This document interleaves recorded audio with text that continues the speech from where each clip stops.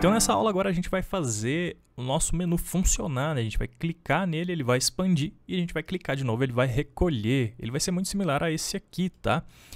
Uh, bom, uh, a primeira coisa que a gente tem que fazer, então, uh, é criar essas animações, né? essas classes que animam o nosso elemento. A gente pode criar tanto uma classe de animação usando keyframes aqui, né? Uh, mas eu vou tentar de um jeito um pouco mais simples e depois a gente vê. Uh, eu, eu, quero testar de um jeito mais simples, ver se vai funcionar, senão a gente vai ter que criar a classe de animação mesmo. O jeito mais simples é o seguinte: tá vendo aqui onde está right 0? Eu vou deletar aqui, então a gente vai deixar ele só alinhado ao topo. Se eu atualizar aqui agora, ó, provavelmente ele vem aqui para a esquerda. Ah, beleza. O que, que eu vou fazer agora? Eu vou criar uma classe muito simples, tá? Eu vou chamar ela de JL menu Uh, bom, aí essa classe aqui ela vai ser contextual, tá? Ela é exclusiva para o menu, então por isso que eu vou uh, fazer ela desse jeito aqui, tá? Basicamente a gente não vai reaproveitar em lugar nenhum porque ela está uh, específica para o menu. Eu vou chamar de menu is open.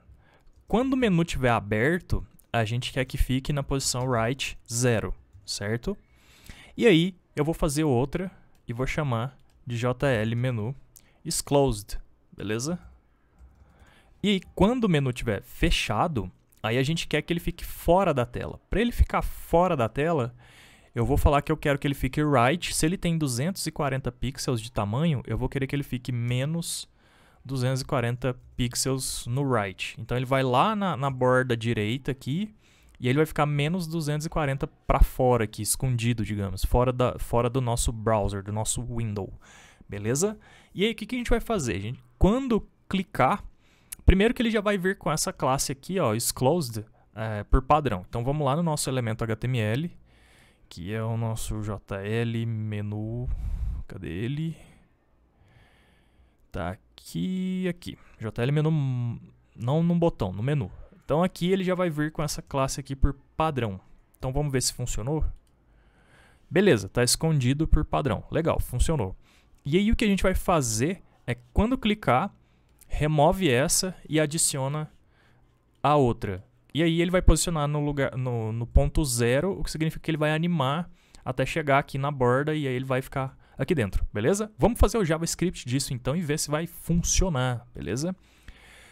Uh, deixa eu pensar aqui também.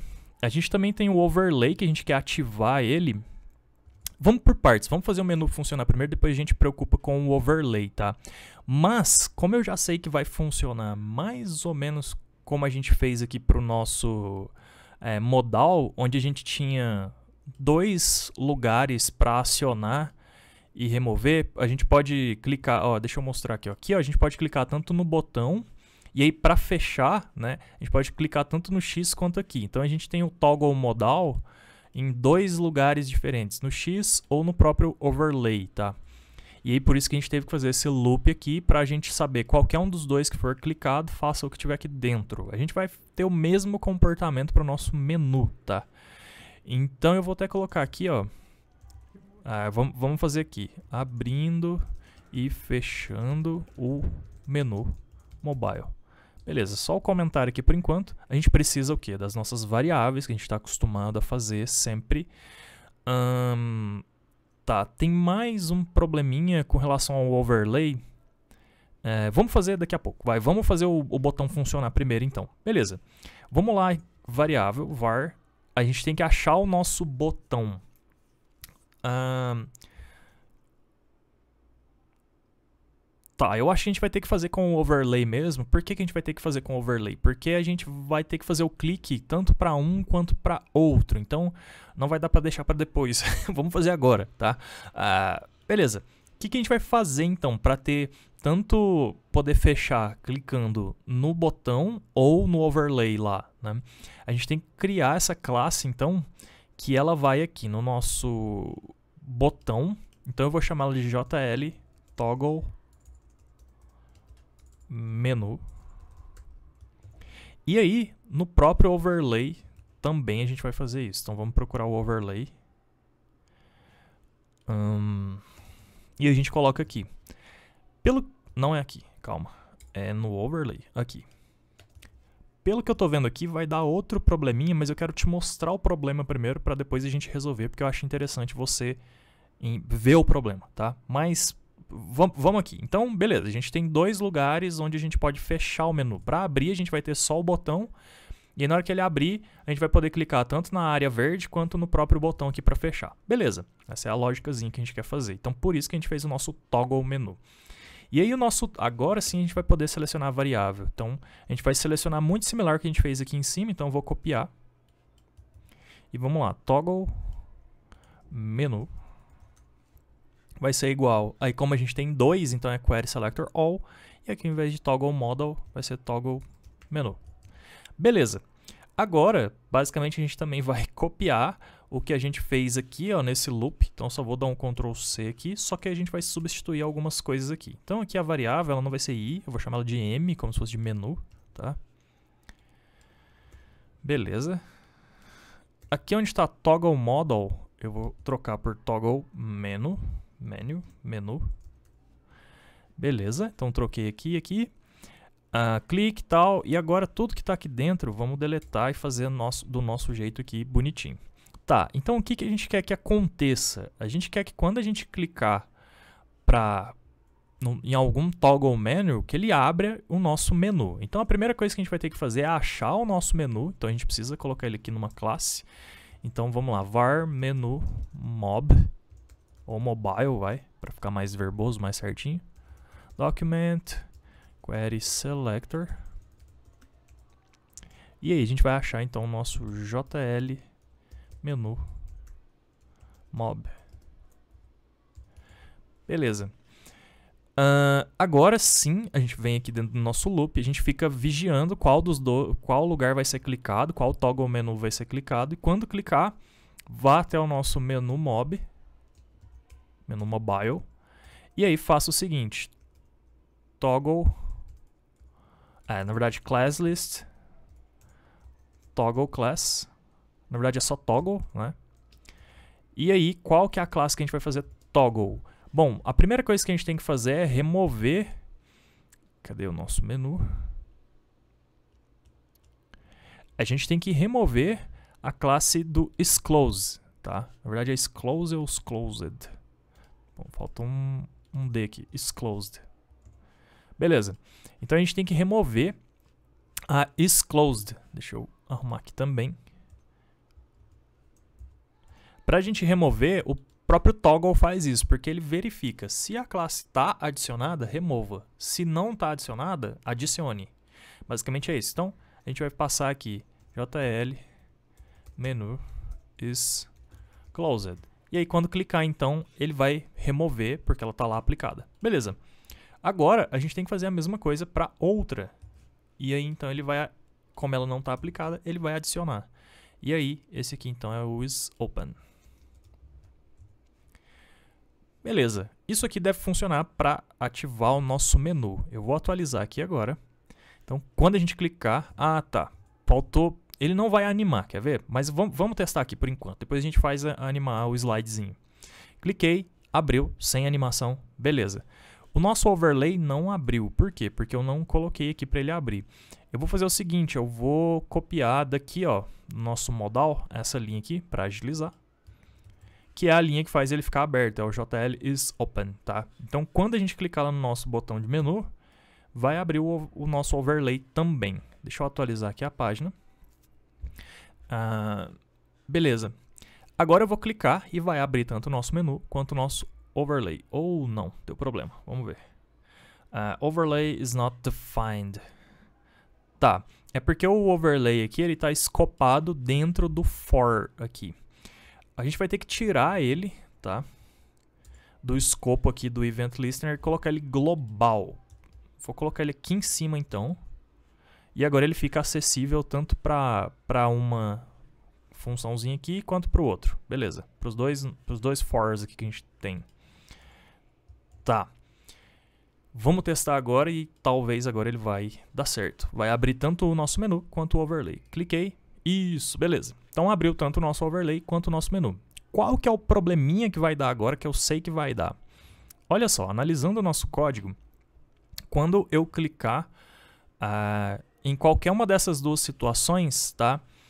Se eu clico, olha só, ele recebe aqui a classe, cadê o overlay? Ele recebe tanto o toggle modal quanto o toggle menu. Então, beleza. O que, que acontece? Ele está executando, quando eu clicar no modal aqui, no, no overlay, desculpa, ele vai executar as duas funções ao mesmo tempo, tá? Por quê? Porque ele está recebendo as duas classes, ele está recebendo tanto o toggle model quanto o toggle menu. E o que, que vai acontecer? Quando eu clicar, tá aberto, né? Então ele vai executar isso aqui de novo e vai fechar. Só que como ele também está fazendo toggle no model, aí ele vai abrir, tá?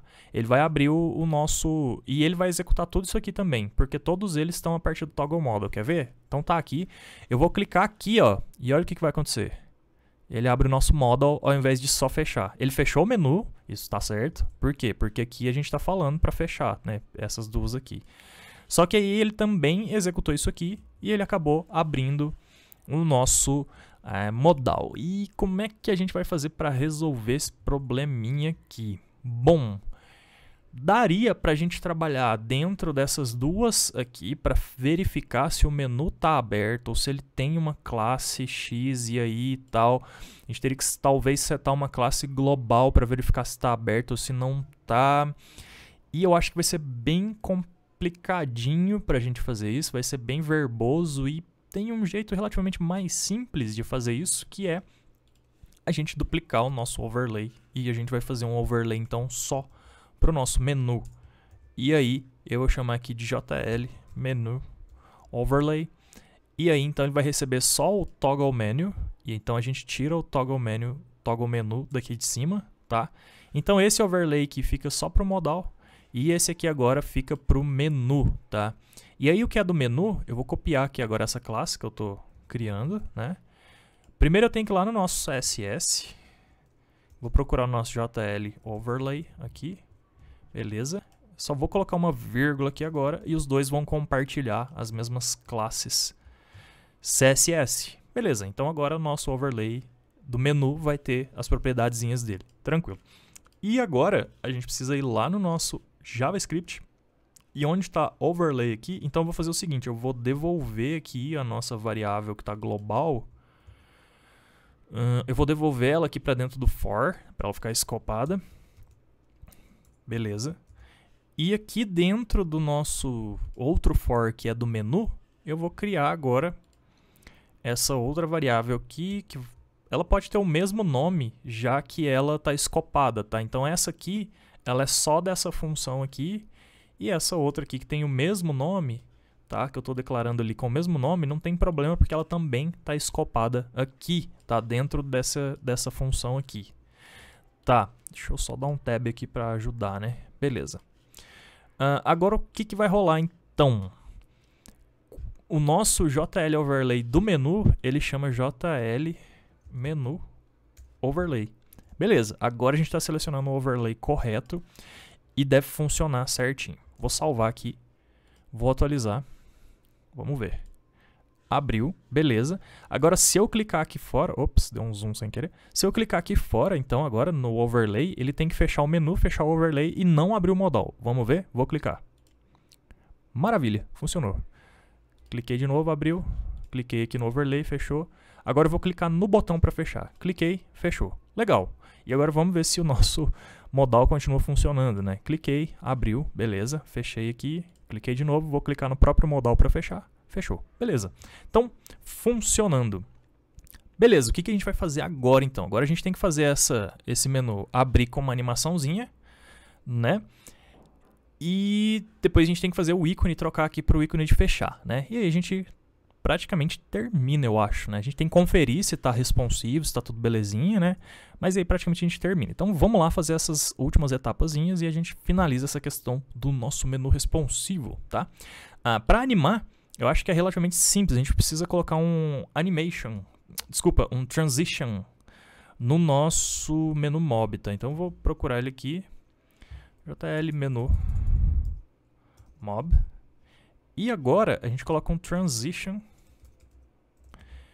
Se você não se lembra, temos aulas sobre transition, tá? Lá na nossas, nas nossas aulas da sessão de animação, tá? No módulo onde a gente fala sobre animações, tá?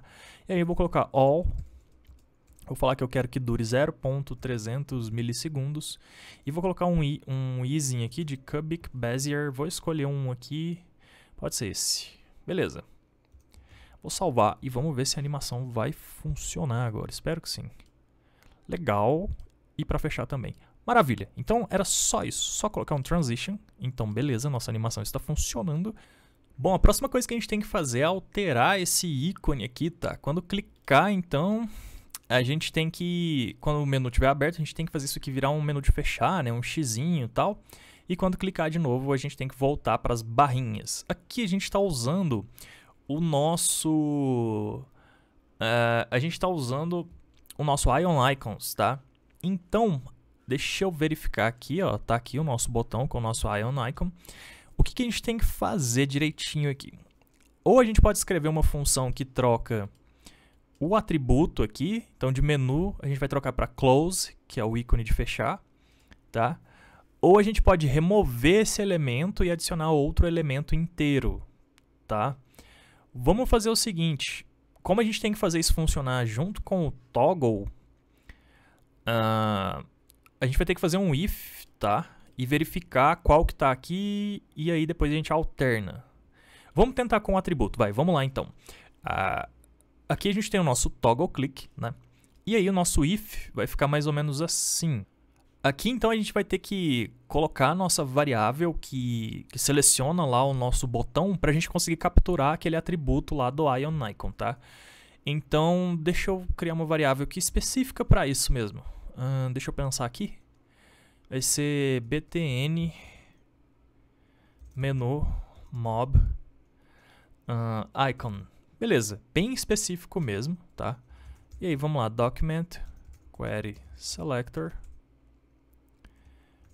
E aí vai ser o nosso jl btn menu mob. E aí dentro dele a gente tem o ion icon. Beleza, esse aqui é o selector. Tá. Acho que vai funcionar, né? Vou dar um Ctrl C aqui agora. Beleza. Agora, a gente vai... Aqui dentro do nosso toggle menu, né? A gente vai fazer um if e a gente precisa verificar qual que é o, o valor que está lá dentro do name, tá? Então a gente tem o name aqui, ó, tá? E é menu. Então a gente tem que falar assim, se for menu, troque para close. Se for close, troque para menu. Basicamente é isso. Como que a gente vai fazer isso? Ah, a gente vai fazer o seguinte, ó. Se o nosso btn ponto get attribute, na verdade vamos fazer uma variável para isso aqui, vai.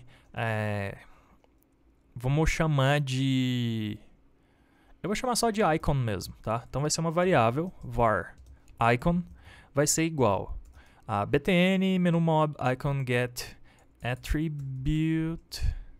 Beleza. E aí o atributo chama name, tá?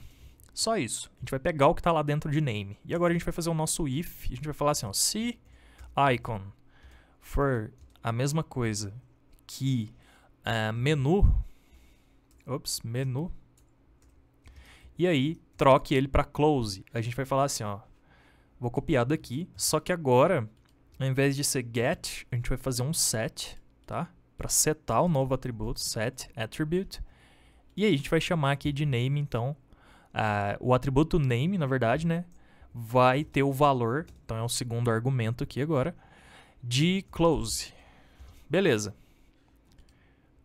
Tá, é isso. Caso contrário, então a gente, aqui nesse caso a gente precisa fazer o else também, tá? Uh, else ou seja, se não for menu, tá? Ou seja, vai ser o close, né? Aí você faz o set attribute, attribute para menu de volta. Então, caso não seja menu, a única possibilidade que é que vai ser o close, né? Então, se for o close, set de volta para menu. Beleza. Bom, vou atualizar aqui e vamos ver se vai funcionar.